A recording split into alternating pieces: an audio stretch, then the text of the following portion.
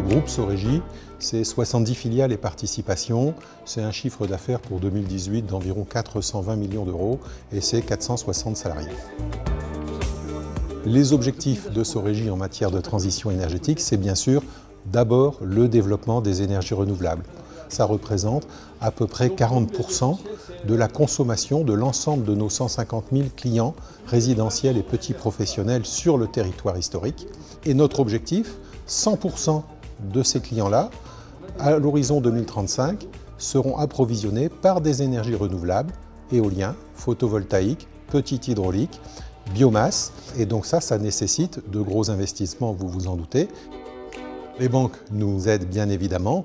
Notre banque historique est entrée au capital de la société en 2016, euh, ce qui nous a permis, par les fonds propres apportés, d'accélérer notre euh, programme de réalisation et d'investissement dans les énergies renouvelables. Les banques nous financent euh, la plupart des projets, puisque tous ces projets sont réalisés en, partie en fonds propres, mais également par le biais de financement bancaire.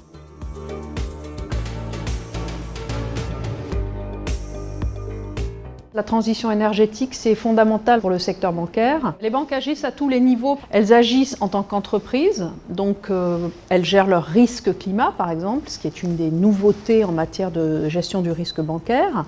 Et puis elles agissent aussi vis-à-vis -vis de leurs clients en tant que financeurs une marque de fabrique de la place financière de Paris, c'est d'être le grand acteur mondial de la finance verte. On est les premiers en termes de part de marché sur les émissions de ce qu'on appelle les green bonds, c'est-à-dire des obligations qui permettent de financer des grands projets de transition énergétique. On est aussi présent auprès des clients particuliers avec le financement de la rénovation thermique des logements, le financement des véhicules verts, beaucoup de pédagogie financière aussi parce que très souvent les clients ont du mal à savoir euh, comment financer leurs projets, à qui s'adresser, comment faire. Donc euh, la Fédération bancaire française a euh, mis en place huit mini-guides qui aident les particuliers d'un côté, les entreprises de l'autre à s'orienter dans les solutions de financement. Et puis nous agissons aussi de manière prospective. Nous avons fait des propositions au niveau européen pour améliorer euh, les conditions de traitement réglementaire des financements verts. C'est ce qu'on appelle le Green Supporting Factor, donc on a défendu à Bruxelles et qui est maintenant